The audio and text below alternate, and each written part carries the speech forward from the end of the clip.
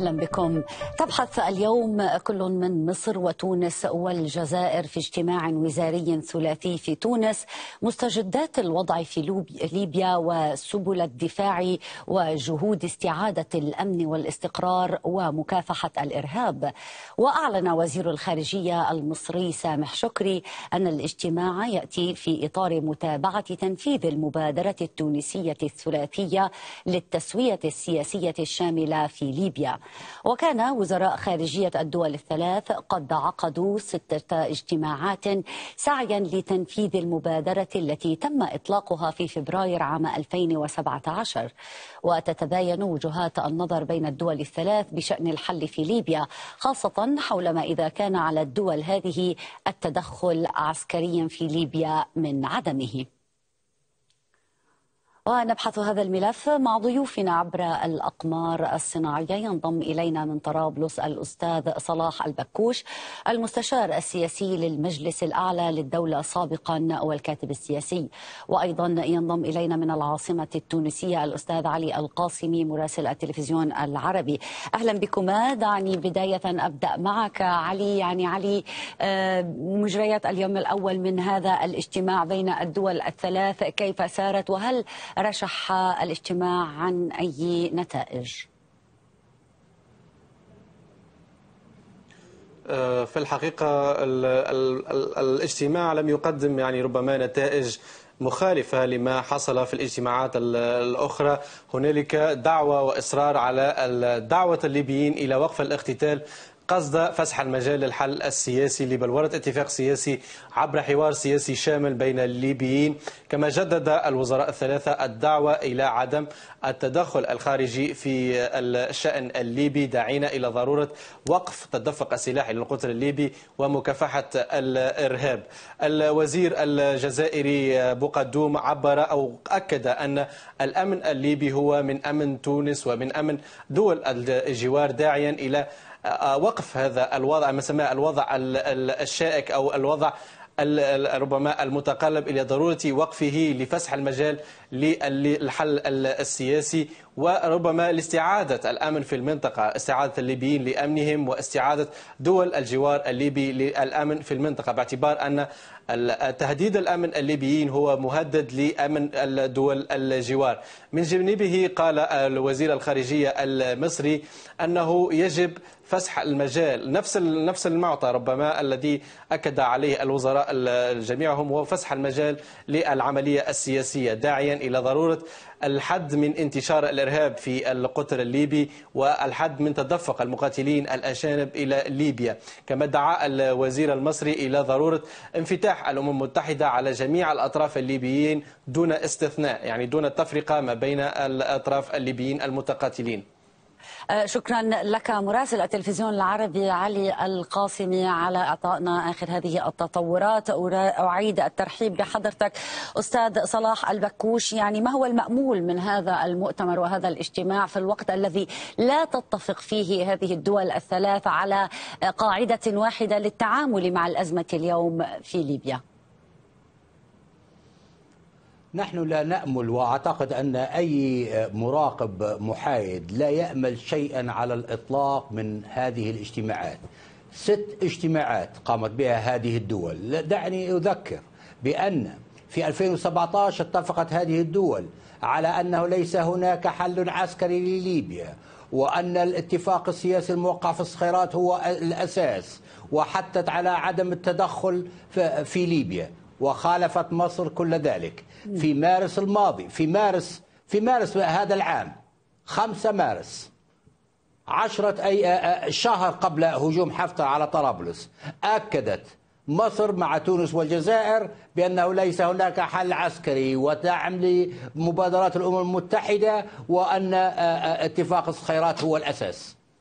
فأنت اذا لا ترى سيد قاب... نعم سيد صلاح اذا لا ترى بأنه هذه الاجتماعات قد تؤدي إلى نتيجة. طب ما هو الهدف من عقدها اذا برأيك طبعا. للاستهلاك المحلي والدولي بعد هجوم حفتر بعد شهر و بعد شهر بالضبط من الاجتماع الذي عقد في 5 مارس من هذا العام استقبل الرئيس السيسي خليفة حفتر بعد آه، هجومه على طرابلس. وما الذي قاله السيسي؟ قال بأنه يؤيد آه، آه، سحق الميليشيات المتطرفة والإرهاب وبسط الأمن في جميع أنحاء ليبيا. هذا بعد أن جلس مباشرة مع خليفة حفتر. نعم. وعلى هذا الأساس يجب أن نأمل الكثير لأن مصر لا يمكن للحكومة المصرية بقيادة السيسي أن تقدم أي شيء إيجابي لإنشاء دولة آه، آمنة مستقرة ديمقراطية في ليبيا. فاقد الشيء لا يعطيه وكما قالت الجارديان أنه بقدوم السيسي إلى مصر أسدل ستار من القمع على الدولة المصرية. فنحن لا نتوقع شيء من هذه الاجتماعات وبكل تأكيد لا نتوقع شيء من مصر ولا أدري متى آه، تقول تونس والجزائر كفانا من هذا من هذه الاجتماعات التي لا تقدم فيها مصر شيء سوى الكلام الفارغ. يعني رغم تصريحات وزير الخارجية التي نقل إلينا بعضا منها الآن وراسلنا في تونس إصرار مصر على عودة الاستقرار هذه العناوين العامة التي طالما اتبعتها الخارجية آه، المصرية كيف تجد لها مكانا على الأرض وهل هناك بالفعل ما يؤشر على هذه النوايا وتطبيقها حتى الآن سيد صلاح؟ هذا أعطيك شيء ليس تحليلا مني أو استنتاج أو أو أي شيء. كل كلام سامح شكري والسيسي تكذبه يكذبه فريق الخبراء التابع لمجلس الأمن في تقاريره الثلاثة الماضية 2017 و2016 2015 و16 و17 و18 أيضا. تؤكد وتشير وتوضح بالصورة وبالدليل. تقديم مصر للعون العسكري والمالي من الإمارات في مخالفة واضحة لقرارات مجلس الأمن تحت البند السابع. هذا هذا ليس كلام من عندي هذا كلام فريق الخبراء التابع لمجلس الأمن والذي لا يصدر إلا بموافقة الأعضاء الدائمين. فعلى هذا الاساس نحن نعرف ما الذي تقوم به مصر في في علنا وما تقوم به في الخفاء.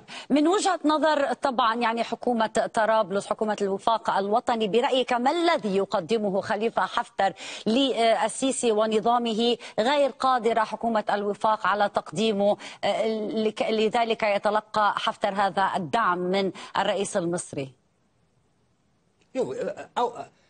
حفتر يقدم للسيسي إمكانية إيجاد ما, يس... ما سماه عزمي بشارة جمهورية ضباط أخرى في ليبيا على غرار ما هو موجود في مصر. العسكريين يرون في ذلك آه، آه، شيء جيد أن يكون إلى جانبك آه، ضابط آخر عسكري آخر يحكم تلك البلاد. ولكن نحن نحن يجب أن نعترف بأن لمصر يعني مصالح سياسية واقتصادية وأمنية آه، آه، مشروعة في ليبيا. ولكن آه، التناقض في السياسة المصرية هو أنها استبدلت الحلول ذات الإيجابية على المدى المتوسط والبعيد استبدلتها بحلول آنية حماية حدودها في الشرق ودرء الخطر الأمني الآن مضحية بالعلاقات التجارية والسياسية والأمنية بعيدة المدى مع حكومة ليبية ديمقراطية مدنية. أشكرك جزيل الشكر الأستاذ صلاح البكوش الكاتب السياسي والمستشار السياسي للمجلس الأعلى للدولة سابقاً.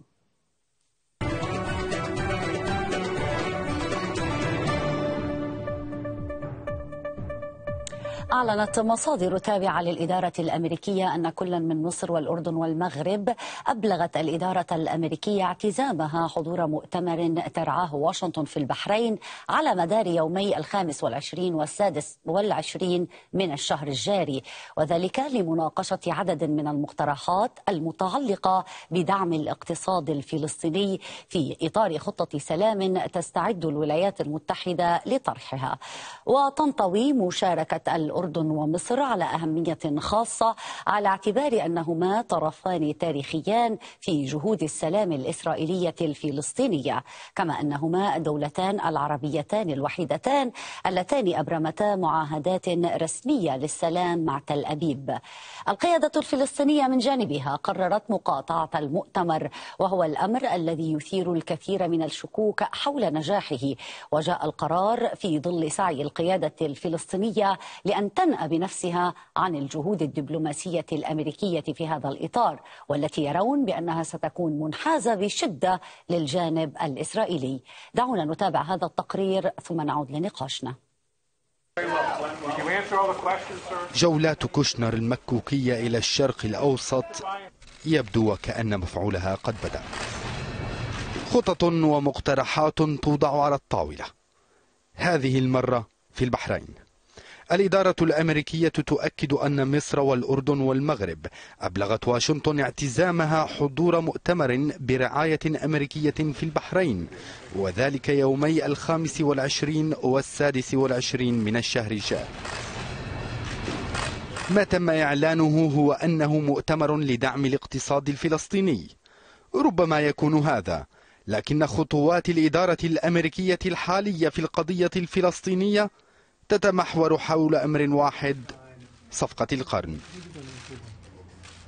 في المقابل الوكالة الرسمية الفلسطينية تنشر بيانا يؤكد عدم مشاركة المغرب والأردن ومصر في الورشة داعية الجميع إلى عدم حضورها. البيان أكد عمق التنسيق بين فلسطين وجميع الدول العربية التي أكدت ثباتها على مبادرة السلام وقرارات قمة تونس. وفي سياق ردود الفعل الفلسطينية أيضا المجلس الثوري أكد لحركة فتح رفضه المطلق صفقة القرن ورفض الفلسطينيين المشاركة في ورشة البحرين الاقتصادية. قرار القيادة الفلسطينية مقاطعة المؤتمر أثار الشكوك بشأن فرص نجاحه لا سيما أنها تنأى بنفسها عن جهد دبلوماسي أمريكي ترى أنه سيكون منحازا بشدة لصالح إسرائيل.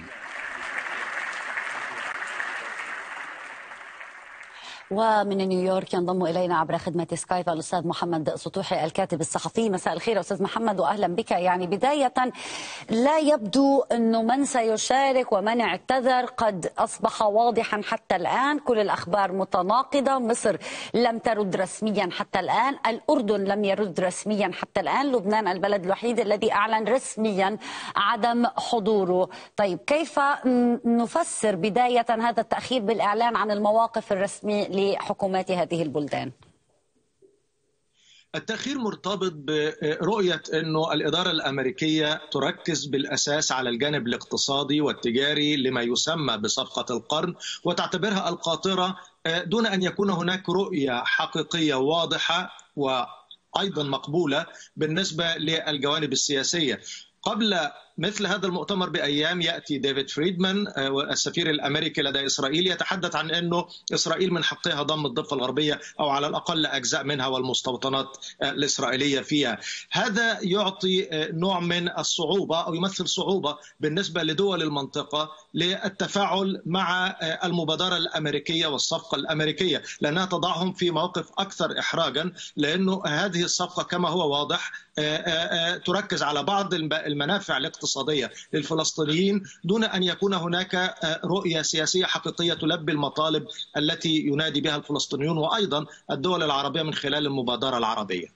طيب لو كانت هذه المبادرة أو هذا المؤتمر عقد يا أستاذ محمد قبل بضعة سنوات لربما كنا قد قلنا بكل ثقة بأن الثوابت فيما يتعلق بالقضية الفلسطينية لا تمس ولا خوف عليها من هذا المؤتمر أو غيره. ولكن اليوم مع وجود ترامب وكوشنر ومساعي إقليمية في المنطقة وتغير موقف البلدان العربية برأيك هل يشكل هذا المؤتمر اليوم تهديدا على ما اعتبرناه ثوابت لعقود طويلة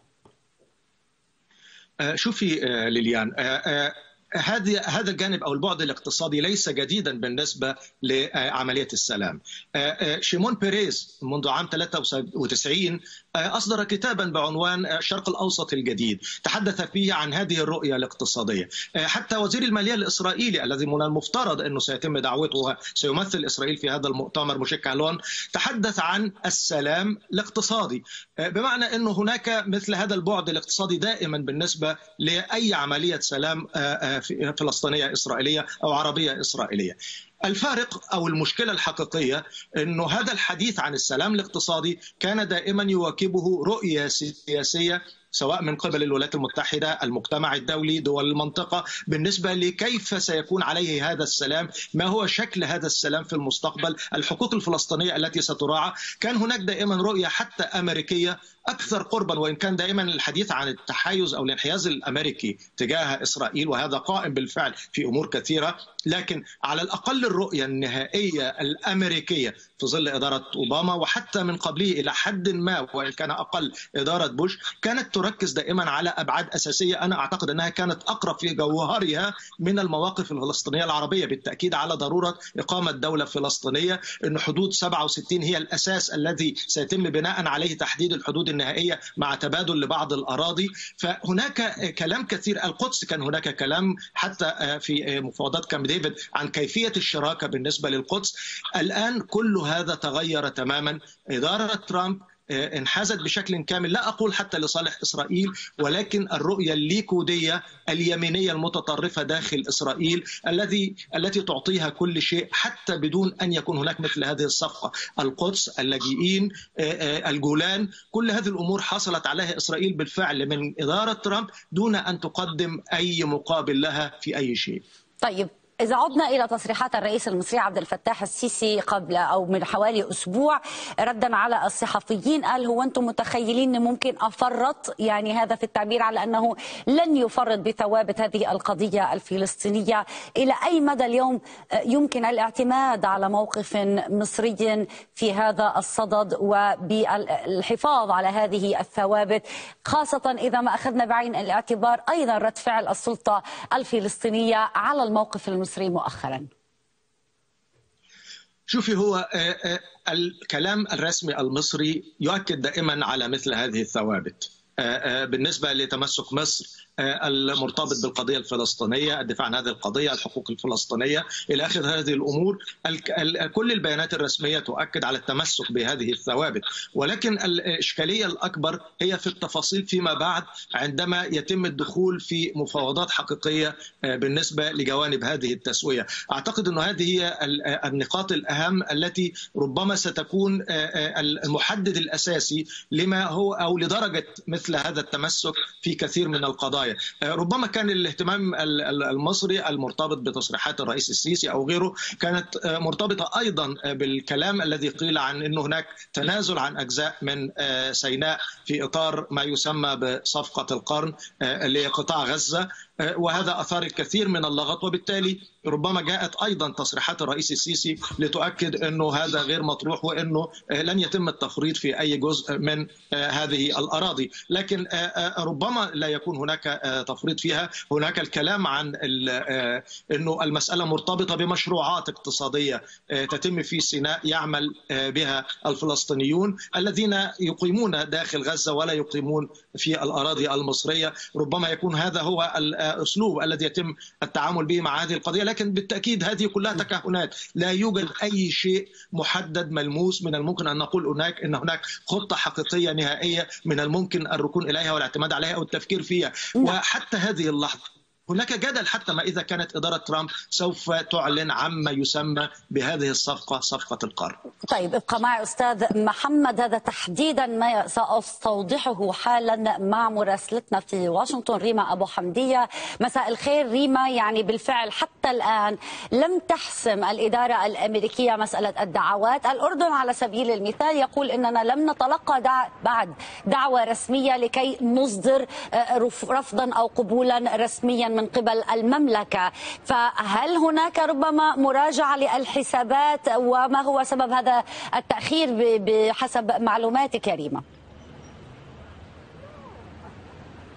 أو ربما هو إدراك أن هذا المشروع فاشل منذ البداية. الإدارة الأمريكية ربما استعجلت الموضوع. كثيرون اتهموا الإدارة الأمريكية بعدم التحضير الكافي وعدم معرفة كافة الجوانب وإنما اتبعت جهة واحدة في الإدارة الأمريكية التي كانت تريد أن تدفع باتجاه حل كما يراه هو أو كما تراه هذه الفئة في الإدارة الأمريكية وهو ما لم يكن مقبولا لدى كثيرين حتى في الولايات المتحدة ليس فقط من الخارج وإنما داخل الولايات المتحدة.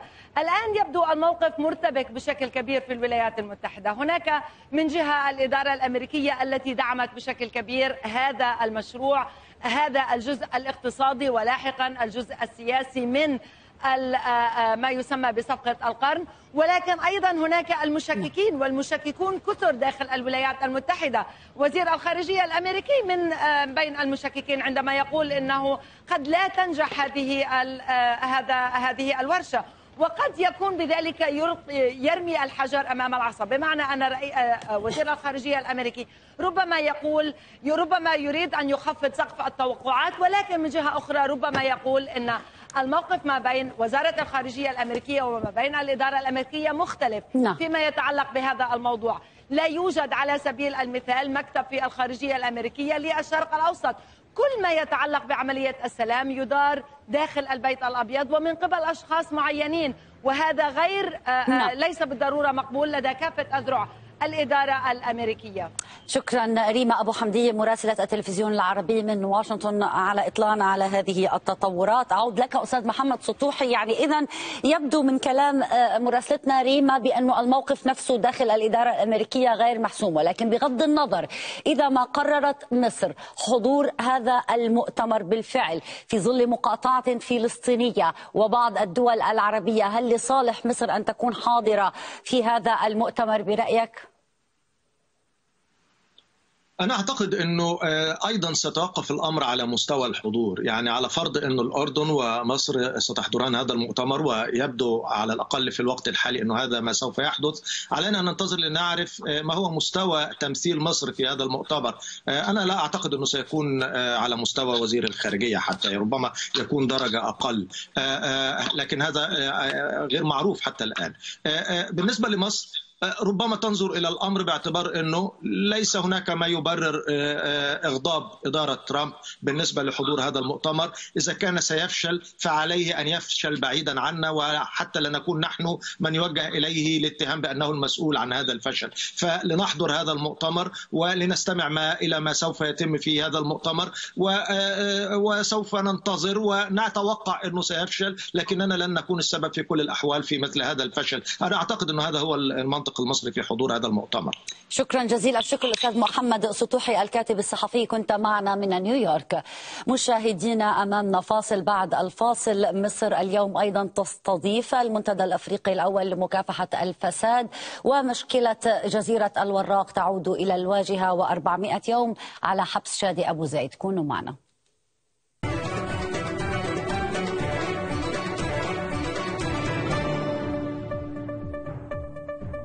أهلا بكم من جديد. تستضيف مصر على مدار اليومين القادمين المنتدى الأفريقي الأول لمكافحة الفساد والذي انطلقت أعماله اليوم.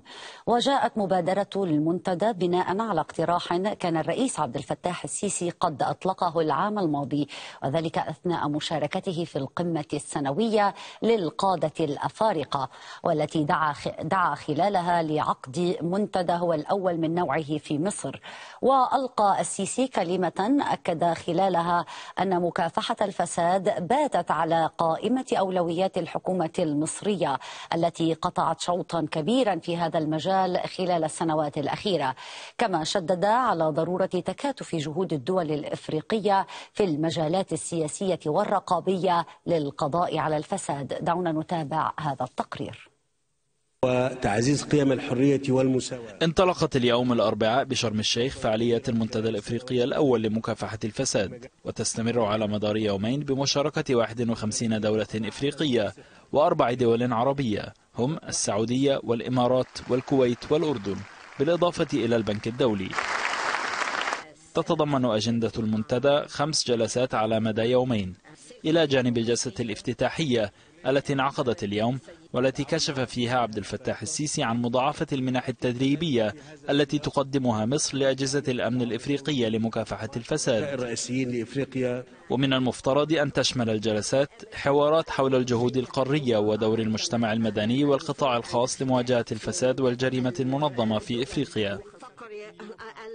يأتي المنتدى بعد نحو ستة أشهر على نشر مؤشر مدركات الفساد الدولي الذي أصدرته منظمة الشفافية الدولية لعام 2018 حيث قفزت مصر 12 مركزا عن العام الذي سبقه لتحتل المرتبة المئة والخمسة من أصل 180 دولة.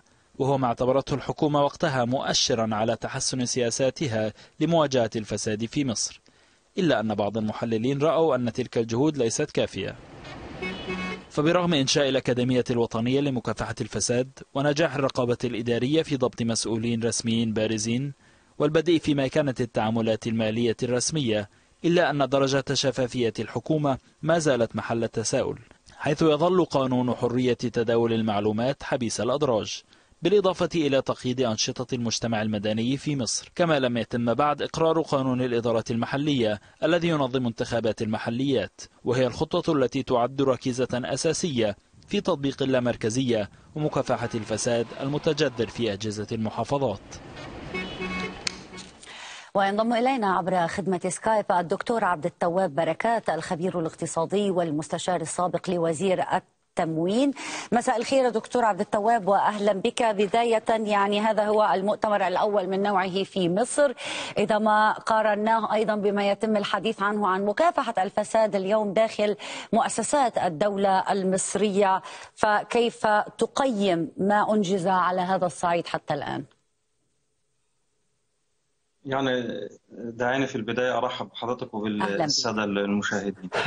إذا كانت مصر تستضيف هكذا مؤتمرات مثل مؤتمر مكافحة الفساد الإداري والمالي فأنا يعني أتعجب من هذا النشاط على مستوى رأس الدولة خاصة أنه مؤشرات الحوكمة العالمية الصادرة عن البنك الدولي تعطي مصر درجة 32 من 100 أي أن مصر تكافح الفساد بنسبة 32 في المية وبالتالي المنظمة تقول أن مصر هي دولة أصلا فاسدة.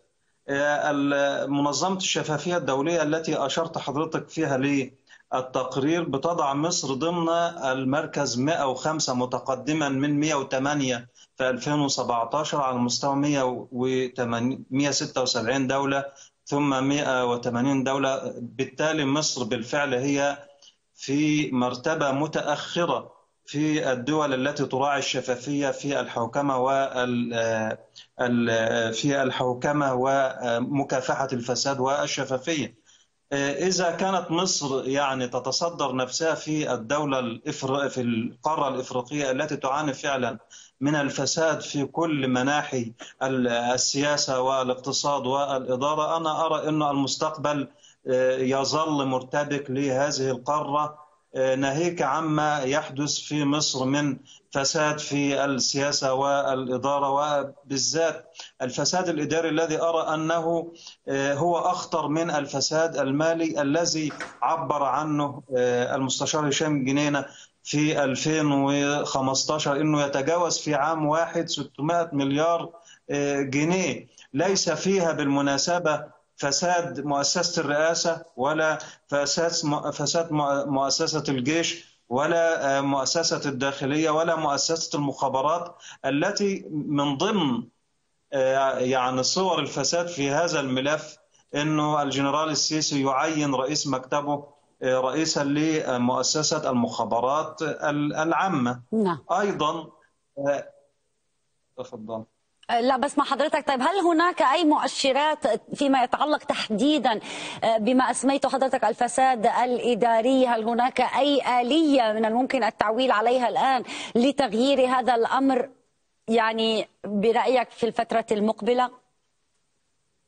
لا أظن أنه المؤشرات سوف تكون إدارية لأنه حتى أكبر جهة أو أكبر هيئة مسؤولة عن مكافحة الفساد في مصر وهي هيئة الرقابة الإدارية إحنا يعني قرأنا في الصحف أجنبية وصحف محلية أنه الجنرال السيسي يعين قريب له رئيسا لهيئة الرقابة الإدارية وهو رجل برتبة لواء عسكري.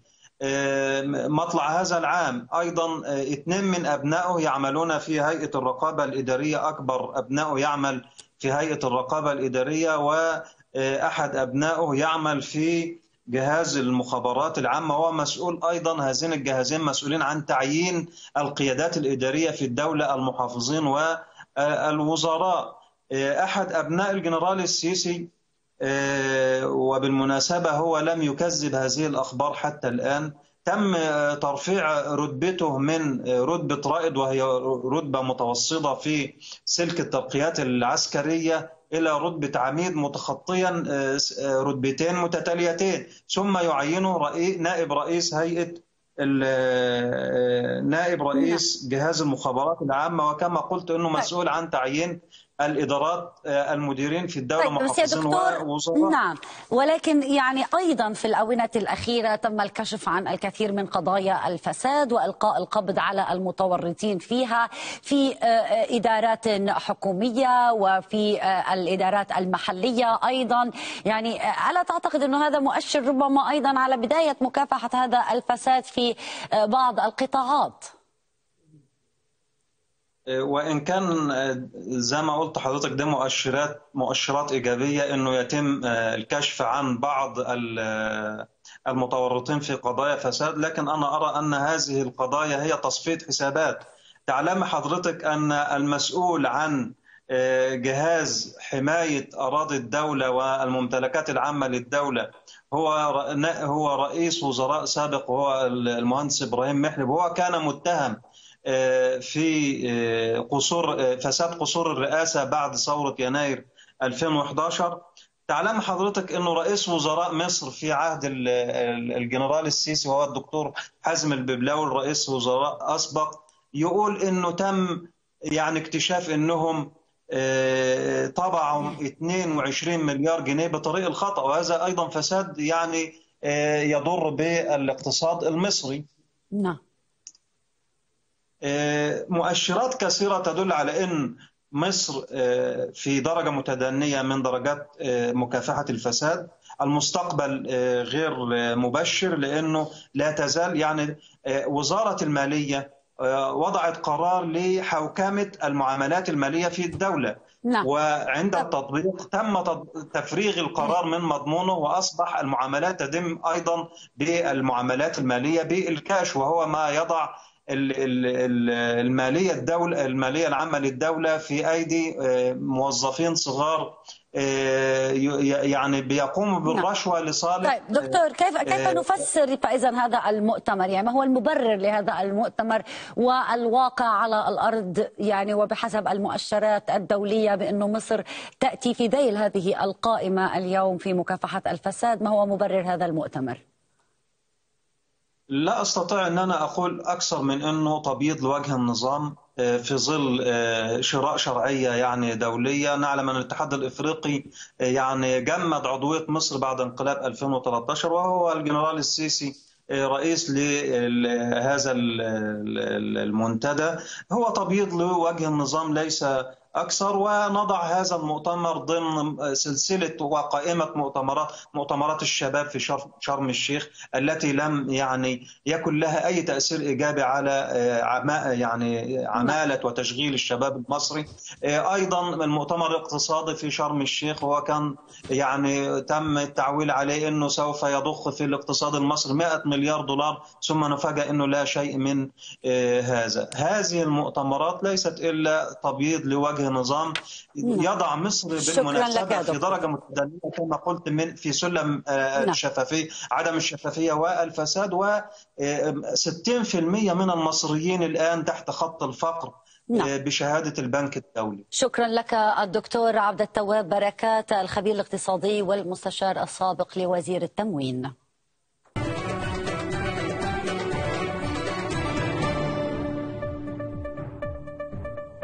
جزيرة الوراق تعود إلى صدارة المشهد من جديد بعد أن بدأت قوات الأمن المصرية منذ الأمس ومدعومة بالجرافات بدأت في إزالة الأراضي الزراعية الموجودة على مداخل الجزيرة.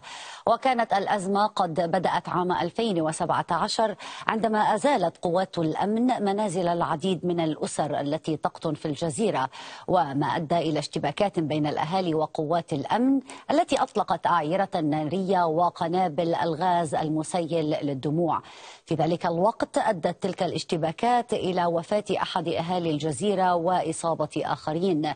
ليصدر بعدها قرار من وزير الداخلية بوقف حملة الإخلاء القسري لأهالي الجزيرة. وعبر الهاتف ينضم إلينا الأستاذ يحيى الشحات رئيس المجلس المحلي السابق بالوراق. أهلا بك أستاذ يحيى. يعني عادت هذه القصة إلى الواجهة بعد أن كان قد صدر قرار بإيقاف الإخلاء. ما الذي تغير الآن؟ اولا تحياتي لحضرتك والساده المشاهدين. وامبارح كان في أحداث والنهارده أحداث. هقول لحضرتك عليها. في عندنا في نهاية الجزيرة منطقة اسمها المنطقة البحرية بنسميها أرض باسوس الدولة اشترت المنطقة دي فيها حوالي 300 فدان. وكان فيها زرع. الدولة نزلت امبارح متمثلة في شرطة مصر وجيش القوات المسلحة وأزالوا المزروعات وخدوا أرضهم. وهنا نتكلم بالحقيقة الدولة صاحبة حق إن أنت تاخد أرضها. النهارده بقى الحاجة اللي يعني اساءت للناس وضايقت الناس في مواطن من الجزيرة مأجر مساحة من الأرض من مالك. وجرى العرف أن الناس اللي باعت أرضها كان المالك بيعوض المستأجر الفقير الغلبان ده بالحد الأدنى للإيراد من 15 ل 20 ألف جنيه. كتعويض ليه؟ عشان يشوف حاله يبني له بيت يعمل أي حاجة. النهارده نزل قوات الشرطة عشان تزيل بيت بتاع مواطن. في مشكلة بينه وبين مالك الأرض والقضية متداولة في المحاكم. فطبعا الراجل قال لهم لا ما تهدوش البيت أنا عايز حقي. فالراجل ما خدش حاجة من المالك والقوات طبعا قبضت عليه وهو وابنه وطبعا خدوهم في قبضة الشرطة. فإحنا بنناشد الناس المسؤولة إن يحل مشكلة الراجل ده لأن فلاح غلبان والمالك باع أرضه وما مبصش نظرة عطف للمستأجر. زائد بقى الناس كلها تجمعت بسبب لأن إحنا اتفقنا أو قلنا للقوات المسلحة إذا كنتوا عايزين البيوت بتاعتنا إحنا مش هنغادر الجزيرة لأن إحنا فيها من أجيال. فابنوا لنا فودونا وعد إن هم يبنوا. لما جم النهارده ينزلوا وهيحاولوا يهدوا البيت الناس حصل فيه احتقان وقالوا يبقى اذا ما فيش فيه جدية. بنناشد الدولة يبقى عندها جدية وتبدأ في المباني للجزيرة لأهالي الجزيرة وياخدوا البيوت. لكن ما ينفعش أجي واحد كده أشيله وأرميه من غير ما أحل مشكلته. كان كان في أنباء إنه الناس بالفعل يعني أستاذ يحيى كانت باعت البيوت بتاعتها وباعت الأراضي بتاعتها بس معك معك نعم. حضرتك في ناس باعت واللي ما باعش أرضه هيبيعها. هي المشكلة في البيوت. الناس اللي باعت بيوت مش من اهالي الجزيرة مواطنين غرباء عن الجزيرة. المواطن ده اشترى له 100 متر وعمل عليها بيت اشترى له 150 متر عمل عليها بيت.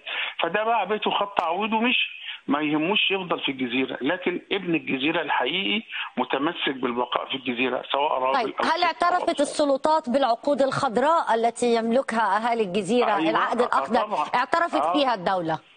اعترفت فيها وادت الناس فلوسها العقد المسجل ده القانون بيحترمه نعم. هو دلوقتي بس المشكلة حضرتك إن الدولة زي ما وعدتنا تبني مباني على أرض الجزيرة وتنقل الناس من بيوتها في المباني اللي هتعملها دي عشان ما يحصلش احتقان وما يحصلش زوبعة وما يحصلش بتتحدث حضرتك عن وعود هذه الوعود هل قدمت مع ضمانات يا أستاذ يحيى طب ما هي كانت الضمانات التي أعطتكم إياها السلطات في وقتها ما لكي.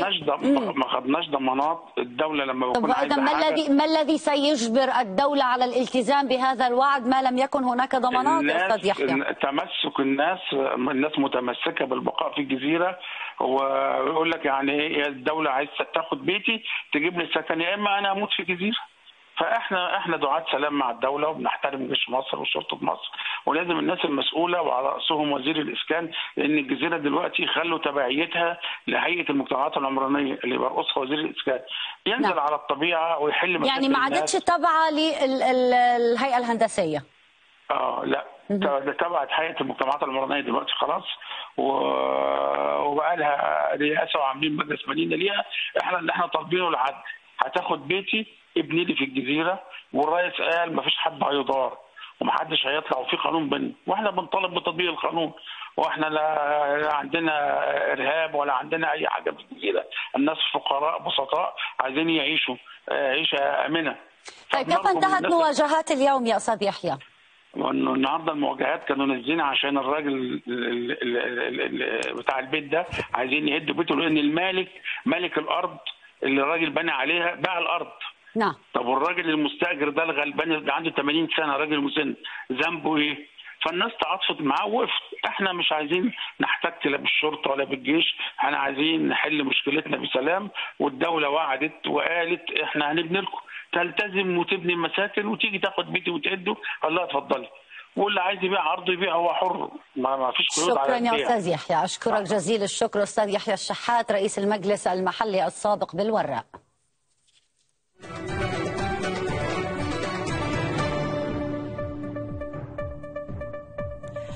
نحو 400 يوم مضت ولا يزال شادي أبو زيد قيد الحبس الاحتياطي على ذمة التحقيقات معه في الاتهامات الموجهة إليه والتي تتضمن الانضمام لجماعة محظورة ونشر شائعات وبيانات كاذبة.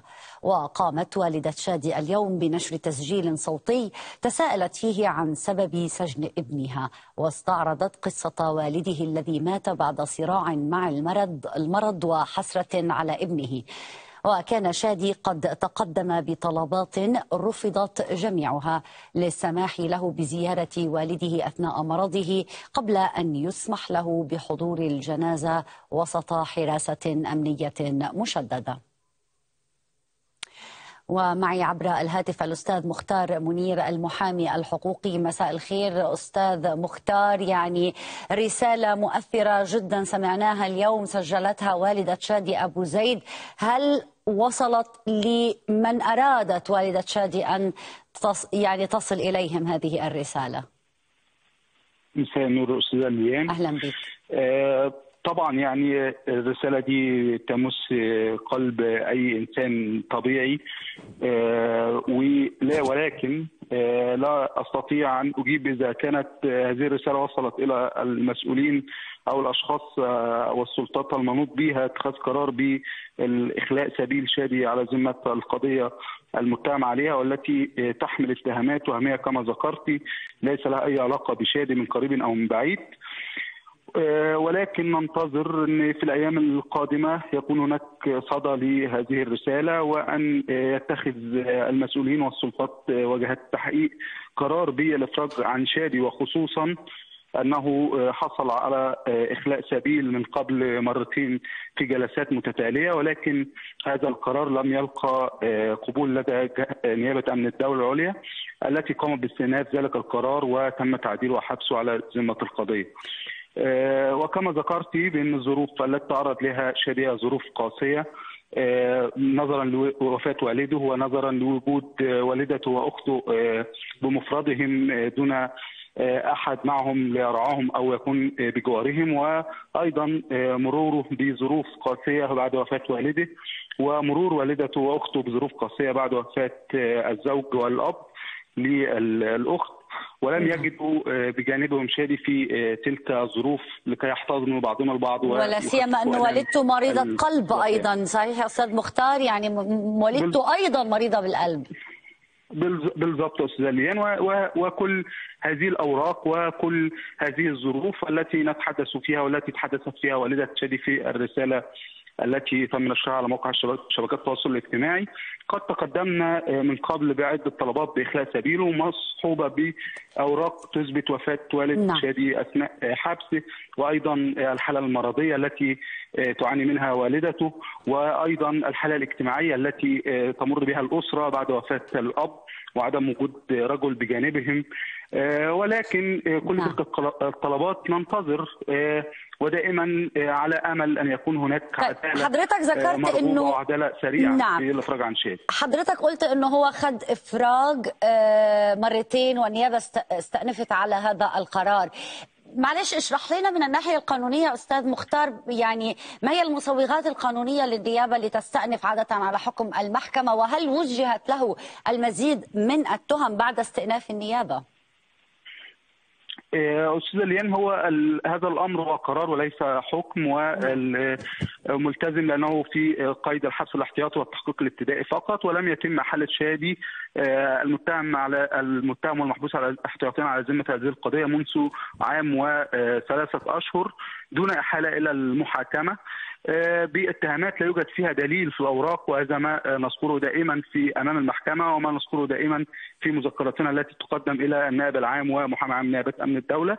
بطلب إفراج عن شادي ولكن لا نعلم فعليا ولم نواجه لماذا النيابة قامت باستئناف تلك القرارات.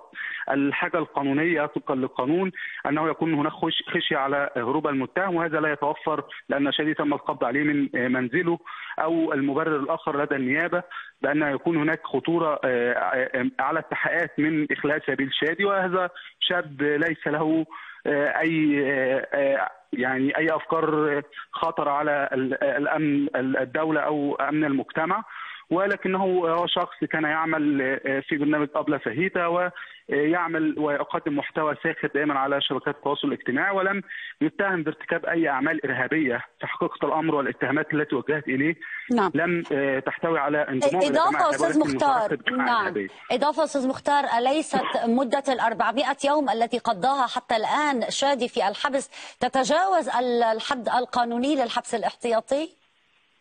لا لا, لا بالفعل لا يعني ما هي المدة اذا أستاذ مختار؟ عامين عامين نعم. من الحبس الاحتياطي طبقا لقانون الإجراءات الجنائية ولكن في الحقيقة هل هناك حاجة لتلك المدة الطويلة وإذا كانت هناك دليل كفاية على تلك الاتهامات التي وجهت اليه في التحليل الابتدائي لماذا لم تحيل النيابة القضية صلة هذه المدة إلى المحاكمة حتى يتم عرض الأوراق بأكملها ويثبت براءته أو إدانته إذا كان مدانا بشيء؟ ولكن حيث أنه لا يوجد دليل فالنيابة لا تحيل القضية. وخصوصا أيضا أن هناك العديد من المتهمين في هذه القضية بنفس ذات الاتهامات قد تم إخلاء سبيلهم والنيابة لم تستأنف على قراراتهم أو استأنفت النيابة وتم تأييد تلك القرارات ولم يؤثر إخلاء سبيلهم على سير التحقيقات في الدعوة. ولكن هناك علامه استفهام كبيرة. على استمرار حبس شادي طيله هذه المدة هناك علامه استفهام كثيرة حول استئناف النيابة مرتين مستلزمين على قرارات إخلاء السبيل بالرغم من علم النيابة بالظروف القاسية التي تمر التي تمر بها أسرة شادي ويمر بها شادي أيضا. أشكرك جزيل الشكر الأستاذ مختار منير المحامي الحقوقي. مشاهدينا نختم حلقة اليوم بفيديو من منصتنا على مواقع التواصل الاجتماعي أنا العربي وهو عن اتهامات وصفت بالعنصرية. ساقها البعض بحق اللاجئين السوريين في مصر. إذا أترككم مع هذا الفيديو. وأتمنى لكم ليلة سعيدة وأشكركم على المتابعة. إلى اللقاء.